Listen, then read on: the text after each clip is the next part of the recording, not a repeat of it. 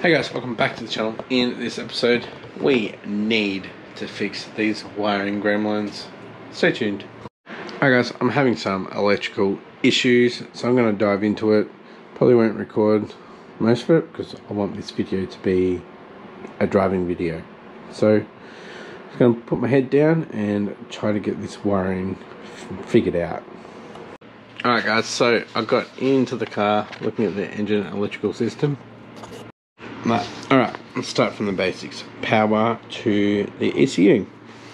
So power, went depinned it and uh, checked it on the multimeter. Got 0.05 volts. Like, hmm. So traced it back to the power source. Fuse number 11. Like, hang on, FB, that's fuse box. That's one in the car. Went to the car, pulled it out. It was blown. Blown fuse, guys. Couldn't find a 15 amp to put in there. So I put a 10 in there, being safe. Put the ignition on the car. ABS went away. So I haven't started it since then, but yeah blown fuse after all of that. So when we get it started and just drive back and forth and see if it, it changes. Fingers crossed it does. Alright guys, before I started it, I just wanted to make sure that I could connect to the OBD and I am connected. Which is awesome.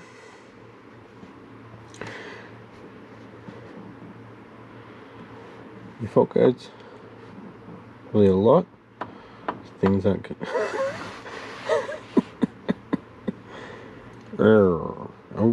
dear. I might look all them up.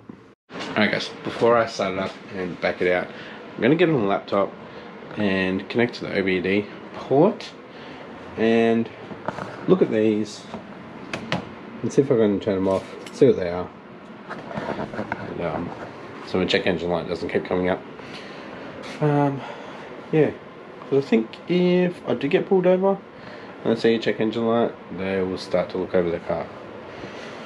Um, but this is a stock. Naturally aspirated, limited Forester. That's all it is. See that grill? See the bonnet? Yeah, stock. Alright guys, so I just went into ECU Flash on the laptop to the stock ECU. Um, found all the codes, so MAF, TPS, coolant temp sensor, intake air temp, map, and TGVs. And we all know, if you've watched my videos, they're not connected anymore. So I went disabled all of them. And my little green connector switch on. And we cleared it. So reflashed stock ECU to have all of them removed. And uh, yeah, we we should have a good start, hopefully. Alright guys, so first start up was only a few seconds. We got another check engine light because it started. So we have a lot more codes coming up. So we'll have a look at them right there. And um, I'll go into ECU flash, delete them again. And we did have the power light flashing so something's wrong with the transmission. Uh, we've got to figure that out. Maybe it's low on fluid. I'll have a, have a look. Alright, so I just drove it back and forward and it was good except the idle was very, very low. We need to fix that. Also, the power light still flashing. I checked the the fluid level. It was fine. Uh, we're gonna find out what's going on there. So I'll have a look at the wiring again. See if it needs something. That's why it's freaking out a bit. Alright guys, I found out why the power light was flashing because the green wire down there for the tacho is not connected to the ECU. I connected it, and then I don't get any RPM. But the light's gone. If I disconnect it and have the Haltech DPO on there. I get the sweep and I get RPM not sure about speed yet because I haven't driven it. But um, yeah. So that's giving it a signal. I think the TCU takes the signal from that wire. So I don't know. I don't know if that's for like kickdowns changing gears and stuff like that but if everything else is working like if your shift's fine and everything doing it manual I'm happy to drive manual in the auto because that's how I normally drove anyway.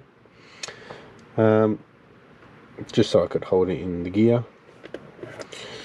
But we won't find out until we get out and go for a drive so it's getting close. Um, there's a lot to do this week guys. There's a lot to do. I need to finish off my gauge pod um, that's not too too bad. I need to hook up my boosts. I'm just going to power to them. I need to go get some fuel. This is some old fuel in this too. Um, so what I'm going to do now is actually have a look at why it's idling so low I like to bring it up it runs a bit smoother about 950 Alright guys, it's about 12.30 now. So, I'm gonna head inside and go to bed. Come out tomorrow and take it for a drive. So we'll just go up and down the street. I'm not gonna be getting into boost. So what I need to do is actually hook up my boost gauges I can see where they're at. Hopefully we can burn off some of this smoke or oil or something that I've got going on in the turbos and actually have a, a clean running car. I do have the cat in there now so it should be okay. A lot of condensation built up from start stop start stop not running it for long so. Alright guys it's the next day. I'm actually a bit nervous. Um, I need to hook up both the boost gauges and then warm her up and uh, take it out for a first drive. I'm peaking. Alright, so I've got the gauges in.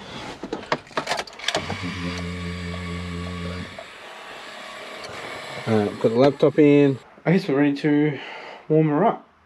Make sure she's good at temp. Check the smoking. Might be stuff that's just still in there, being burnt off.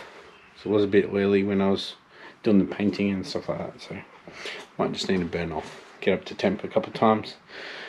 Fingers crossed it is. Um, see how smoky it is out the back. And if it's good, we'll go for a drive. If it's not, we've got to figure it out. Because I can't be driving around during the day with it smoky. Because I will get pulled over. And I'll see this. Alright guys, it's been a while since you've been up there. Um, gonna let it warm up and get it outside.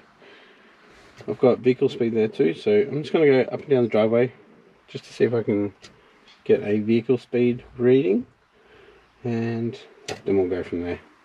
Alright, so at the moment I'm just going into um, coolant temperature ignition correction. I'm adding some timing to bring the RPM up. It was very low.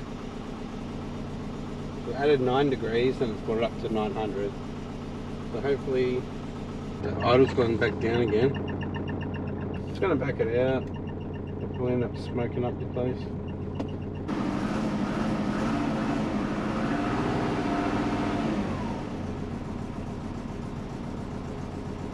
Seems alright. So I've got my overall and this is the GT35 Alright let's uh, see how it goes in gear.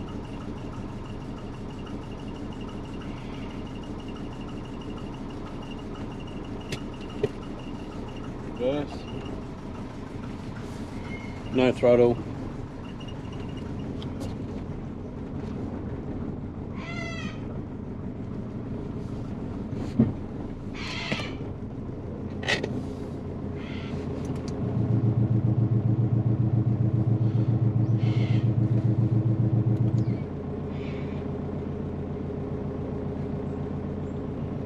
Feels good. It's it's timing. Alright, we're getting pretty smoky.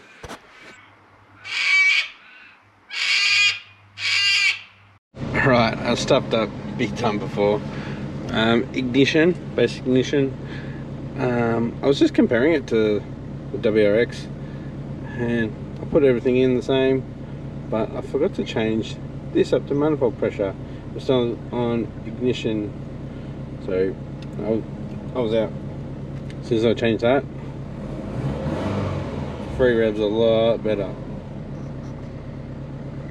and nowhere near as smoky. Not smoky yet.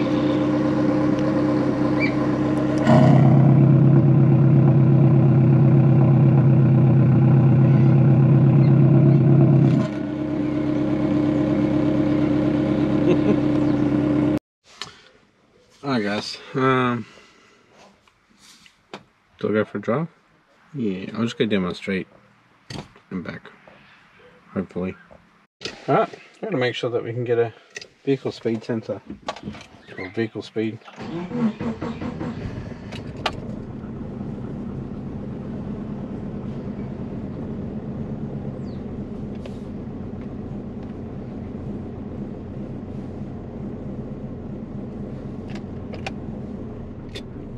Still don't know how it's going gear.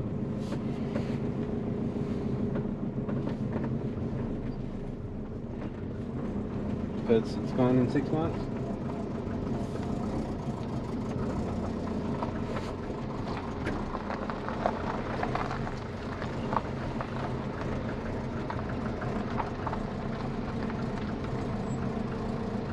I'm getting vehicle speed. Alright guys, it's about 6.30 now. It's dark. So go take it for a drive. And uh, see how we go. I'm not going to record driving. Uh, I'll just record if something happens. So I'll just go probably down my street and back and yeah, so we go. Alright, first drive. It's smoky. Uh, I've probably got one PSI. But man, those turbos sound mint together. I did a little video. I don't know if you could hear it.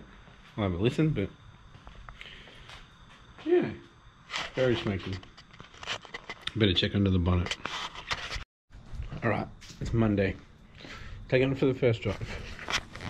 And I think I've got to get it back in and pull it apart. This coolant line here, it's got some coolant on it. Um, there's a lot of heat under this bonnet. Um,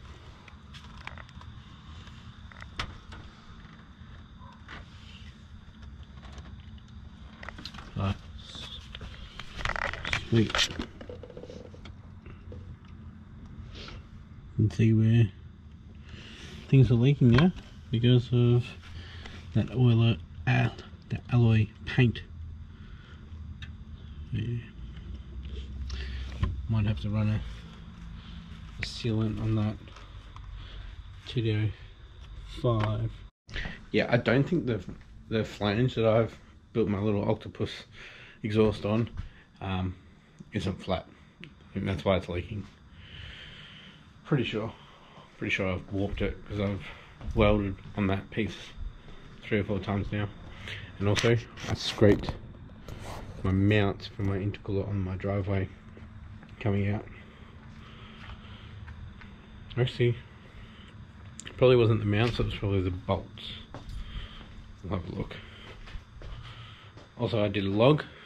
Alright guys, just been playing around on the computer looking at the log that I did and uh, my vehicle speed sensor was way out. Said I got up to like 120 when I clearly didn't. I was putting around probably 40 k's, maybe maximum 50. So I just downloaded a GPS speedo on my phone. I'll have that in the car when I see it at 20 kilometers because that's what I got it set at on the laptop which to calibrate and it should do it so I'll just look on the GPS look on the laptop make sure they're synced at different speeds and we should be good because I do have uh, vehicle speed in some of my tables so I've got to make sure that's right as well. Um, what I'm going to do is I'm going to try to get the oil feed off and swap it around. So I've got the banjo on the top because um, I've got a banjo with a restrictor. So might be able to do that. And uh, yeah when that's all off I'll seal around the back there. Hopefully that'll get rid of this smoking issue because it was actually getting pretty bad when I was out there uh, luckily, it was dark. Um, yeah. Quite a bit to do. It's getting late now on Monday. It's 10 to 11 um, might start pulling it apart. I think it might still be warm. It's not too bad. Um, yeah. Some late nights coming up this week to get this ready. Alright guys. It's been night so what five days to go. Just got the gasket off. Look at that oil. That's crazy. Never seen it like that before. Alright just got the oil feed off and this bolt no restrictor. So uh, let's um see if I can change that right so with all of my fittings I couldn't find a restrictor for the TD05 so I'm gonna have to either get a restrictor pill or get a banjo bolt and use one of the originals that has the restrictor in it. Um, by the looks of it something has been dripping onto the TD05 running around the backside.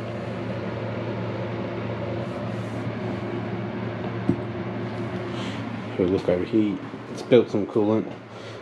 A little bit went down the oil drain. You can see it's on the back here. So, must be coming from the GT35.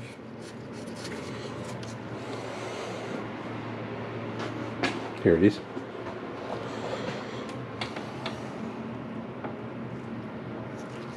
See there's a bit of wetness there. Hmm. Hmm. Who wants to buy me a Garrett GT35? Please? Alright guys, it's the next day and I'm actually going to finish this episode here. I've pretty much done my gauge pod there. Decided I'm going to get another banjo fitting because I've already got the bolt with the restrictor that was the factory one, which I don't know why I didn't use. But anyway, we'll get this all back together tonight with some sealant. So obviously can't start it tonight, so I'll do some more cosmetic stuff like cleaning up this, painting that, the brackets there. We'll get the gauge put in tonight so that'll be next episode.